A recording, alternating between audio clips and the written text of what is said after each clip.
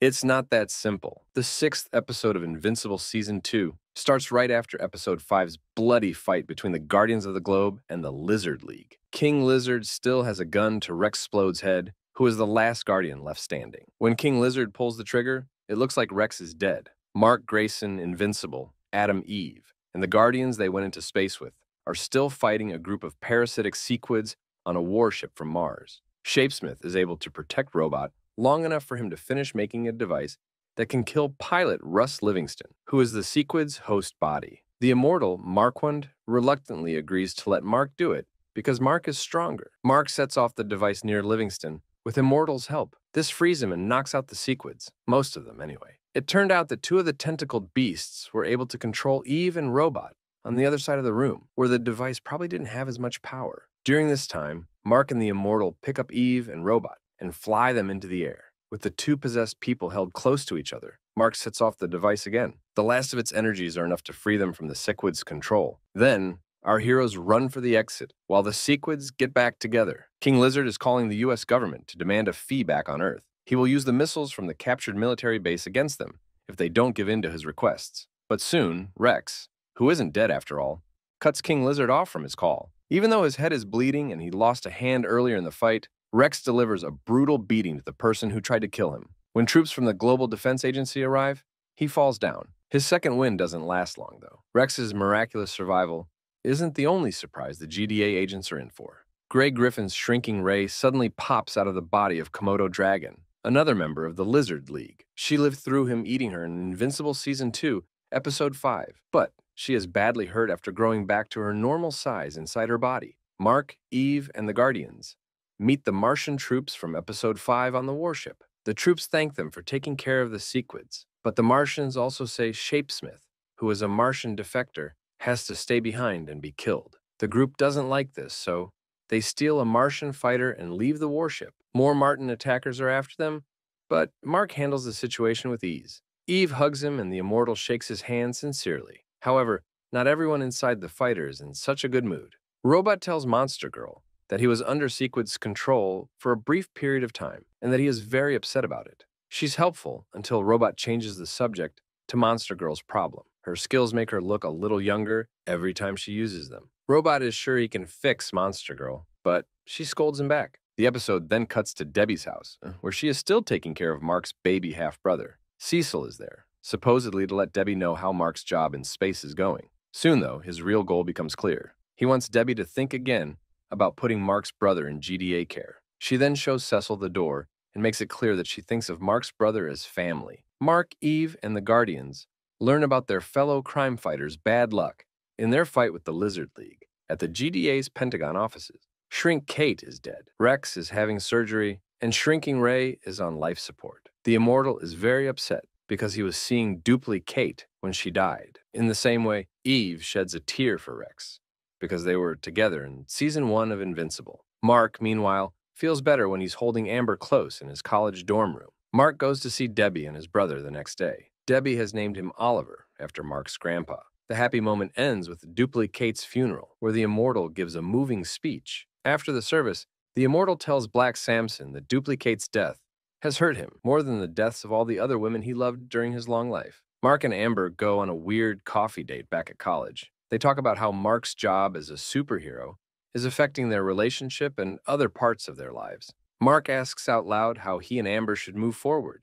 As the talk ends on a sad note, Mark then goes back to his dorm room, where William is helping Rick get used to college life again after season one of Invincible turned him into a cyborg. Donald is also there to help Rick on behalf of the GDA. Mark says something about how Rick looks the same after William and Rick leave. Donald doesn't take long to point out that Rick's body has changed in basic ways. Between seasons one and two, Donald's voice and clenched hands make it clear that he's still having doubts about becoming a robot again. Donald doesn't want to talk about his mood when Mark asks him if he's okay.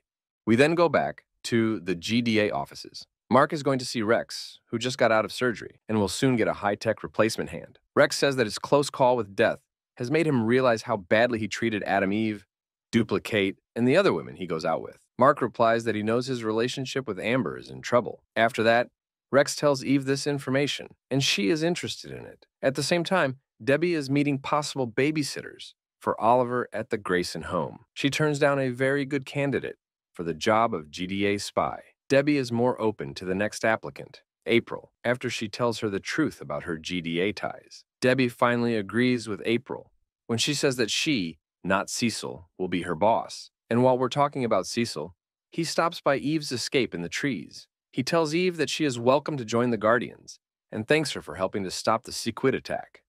She tells him no, but she also says she's still open for last minute jobs. As Cecil teleports away, Eve's next surprise guest, Amber, shows up. At the same time, Mark calls Art Rosenbaum, a character tailor. He tells Art about his relationship problems, while Amber does the same thing with Eve in a scene that cuts between the two. Mark and Amber think they're not good enough for each other. While Mark and Amber talk about things, Art tells Mark to do the same. Eve tells Amber the same thing. In Invincible Season 2, Episode 4, Omni Man told Mark to read the books he wrote, as Nolan Grayson as his last words. Mark does so as he leaves. Mark also says that when Nolan got back from Thraxa, he looked through all of his trip books and found that none of them had any secret messages in them. Art then tells Mark that Nolan wrote a lot of science fiction books and gives Mark a box full of them. That evening, William takes Rick on a tour of the rebuilt college grounds. Rick says that after what the crazy scientist did to him, he's not sure if he's still himself after seeing a sign honoring D.A. Sinclair's victims. He also says that he still has memories of Sinclair's tests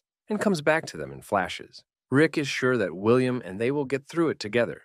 Mark reads The Man with the Invincible Gun, one of Nolan's science fiction stories, in his dorm room. It's about a famous person named the Space Rider and his unbeatable weapon called the Infinity Gun. The next paperback, Savage Planet, Savage Beasts, is about two explorers who are like Viltrumites and find a harsh world that is too tough for even their abilities. Mark quickly figures out that all of Nolan's books are based on real life Viltrumite flaws that he can use against them. At the GDA, Cecil tells the immortal to take some time off. The ancient adventurer is furious, but his fight with Cecil is cut short when the GDA picks up on an unknown alien entering Earth's orbit. Even though Cecil told them not to, the immortal rushed to face the alien, who turned out to be Alan. Even though the one eyed alien says he's not mean, the immortal charges Alan. Mark steps in and the immortal feels bad about what he did and flies back to Earth. Mark takes Alan to his college room, and Alan tells Mark that his boss, Thaedus, is actually a Viltrumite rebel who is hiding. Mark then tells them that Omni Man is going to be killed, but Alan says the Viltrumites might not do it right away. Alan then asks Mark to go with him to the Coalition of Planets to help make plans for the war that will happen with the Viltrum Empire.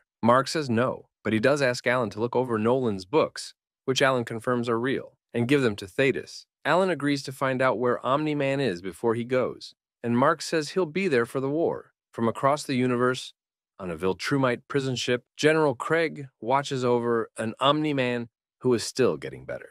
Kregg tells Omni Man that he needs to be in good shape to fight when he is put to death, and he urges him to join the Viltrum Empire's army again. Kregg throws Omni Man around the cell when he doesn't say anything. He then swears that Earth will suffer because it hurt one of Viltrum's best fighters in a toxic way. When Kregg isn't around, Omni Man slams his fist into the floor in defiance. Now that Shapesmith is gone, Russ Livingston cleans up his room on Earth. He starts to retch all of a sudden and throws up in the sink. A sequid moves through the pool of bile that forms. The parasite jumps on Livingston's face and takes over his body, and the titles roll. In a scene after the credits, Angstrom Levy is given a work suit on a different Earth. Levy says he's meeting an old friend, Reed Mark, when asked what the suit is for. After going through portals to several other worlds, Levy finally arrives in the main Invincible reality.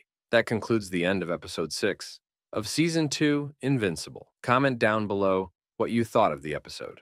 Smash that like button if you enjoyed the recap and subscribe to the channel for more of season 2. Thanks for watching.